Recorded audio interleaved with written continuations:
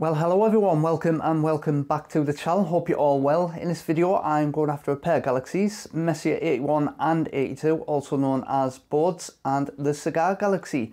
But before I even attempt to do that, I've got to put my mount back together. I decided to give it a bit of a tune-up, new bearings, grease, etc, a bit of a clean-up, and hopefully get it back together before tonight's image session. So, no time like the present, let's crack on. I'll catch up with you very soon.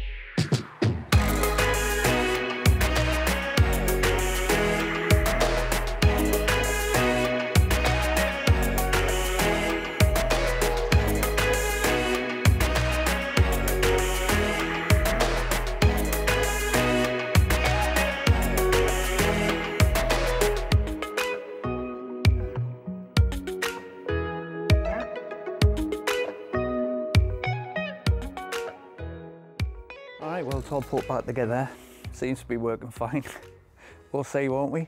Anyway, I just want to say, it's glorious weather. I think I might relax and pull up a chair and sit in the garden for a bit. Hmm, what a treat. Anyway, let's get this camera put on a tripod and I'll show you what the score is. Hopefully you can see this okay. Now, I wish I'd done some before footage actually and you could actually seen how stiff this mount was before I tuned it up. I mean, I'm not joking when I was spinning it. It was almost like a like a sudden stop halfway around. It was awful, really, really groggy. However, hopefully this is evident when I start pushing this around how smooth it actually is. I'm literally hardly touch that. I mean, it's it just glides, and I have to be really careful how hard I push it actually because it just it keeps going. Absolutely brilliant over the moon.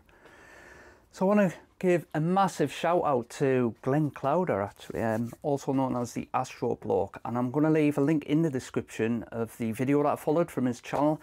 Really, really helpful video. If you own an EQ6R Pro and you're thinking of doing a tune-up, I definitely recommend it. It's definitely worth the effort. It takes a few hours, but you know, it's, it's relatively straightforward.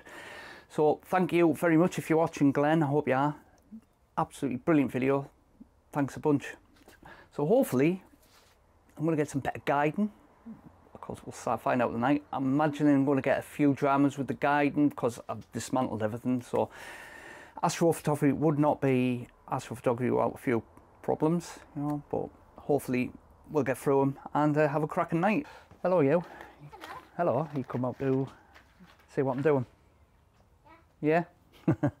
So I've got a bit of time to spare now and I'm also ready to go for tonight's activities. I'll talk a little bit more about the target later on in the video and also I want to talk about the little PC upgrade that I've done as well. Um, I think you might find interesting.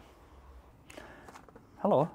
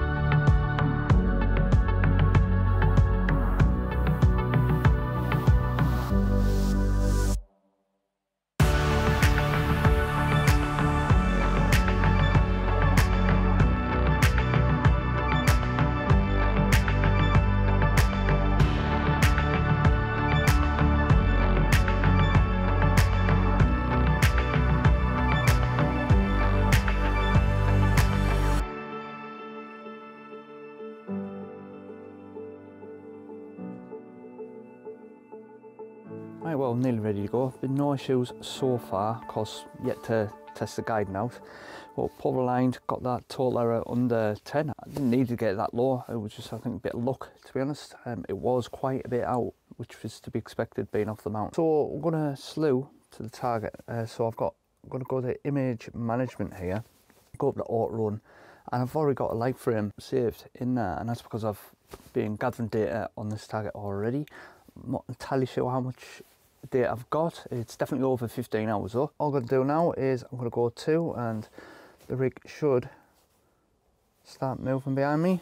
Yeah, I was wondering if it was going to ask that. So it's saying there is a slight deviation. So I'm just going to go to adjust, see what the score is. It might need rotating.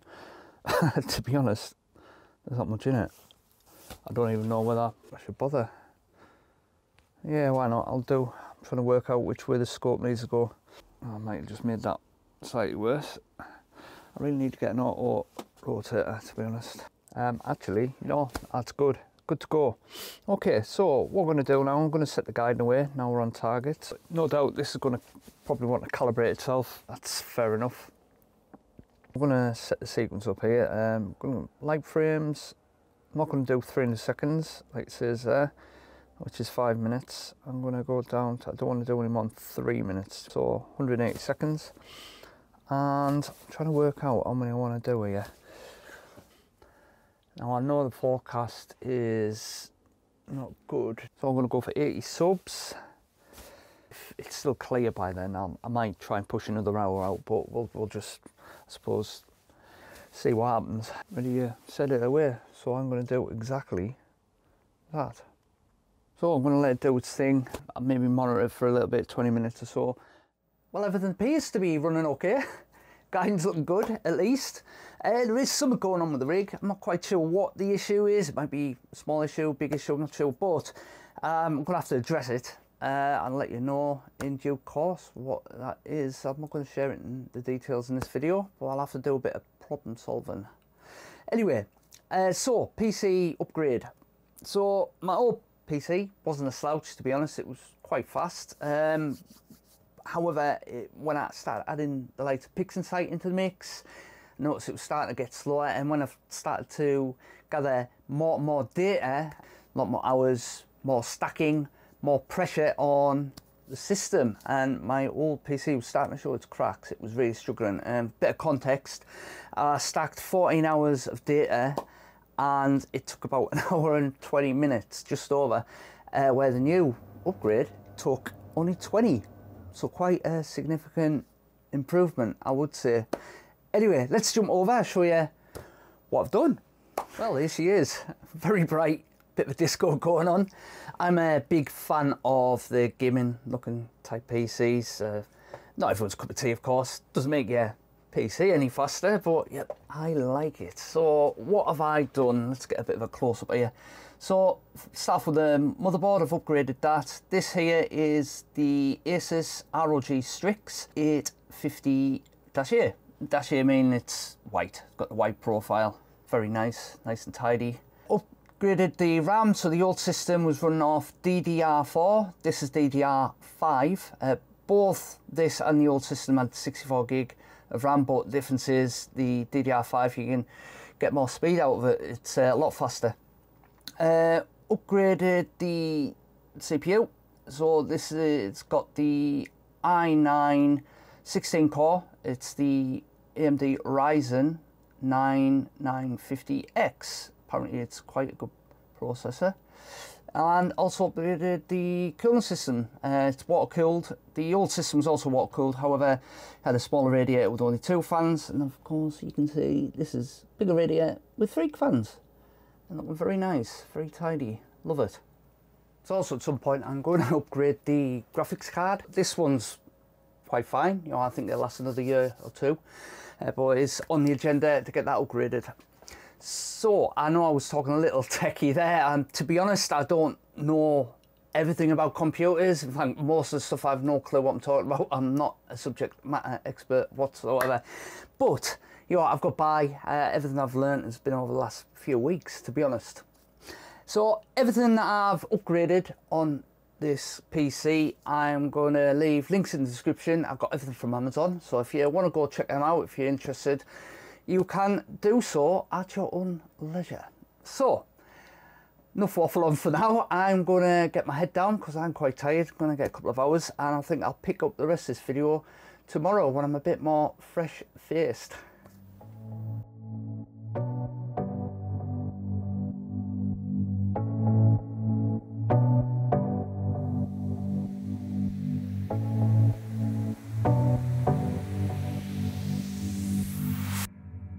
Last captured these galaxies back in November of 2021, so it's nearly been three and a half years since I last captured them. And since then, I have improved in my imaging and processing techniques, so I am quite hopeful that the final image is going to be quite an improvement. The equipment I used to capture this image was my Canon 77D, which is a cropped sensor DSLR camera, my Zenith Star 61 from William Optics, which is a small refractor telescope, and these were mounted on the Star Adventurer Pro from Skywatcher, which is a small star tracker mount. Both these galaxies have similar distances from Earth and takes light around 12 million years to reach us.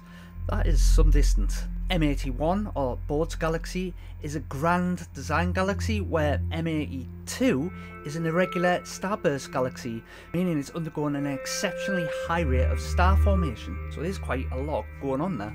These, in my opinion, stunning pair of deep sky objects a part of the M81 group of galaxies and from Earth can be viewed here in the constellation Ursa Major. Currently stacking all the data as we speak. Last night wasn't the greatest of image sessions, uh, the clouds did rock up as promised. Uh, so I've got three hours of data I mean, it's not a big issue this time of year. I've, I've probably I've lost two hours. You know, it was going to start getting late anyway. Uh, the total integration time is now. I've just totted it up at around 22 hours. So a nice chunk of data to play with today. Of course, big reveal at the end. So just for information, and most of the data that I've captured has been just using an IR cut filter. However, my last two image sessions, I've decided to put in my Optolong L Pro, which is a broadband filter. So I'm going to draw a video to an end if you're watching at this point, thank you so much for sticking with it. Hope you've enjoyed the video. If you have, please give it a thumbs up. It's going to let the YouTube algorithm know that you want a popular video on it. Try and push it out a bit further. It also gives me a little indicator as well that you've enjoyed it. If you also consider subscribing to the channel, that would be awesome. Please, and to my current subscribers, thank you so much for your continued support to the channel truly does mean a lot. You know, I do appreciate it, and I'm not just saying that, I really do. And on that note, till next time, take care, everyone, clear skies, and bye for now.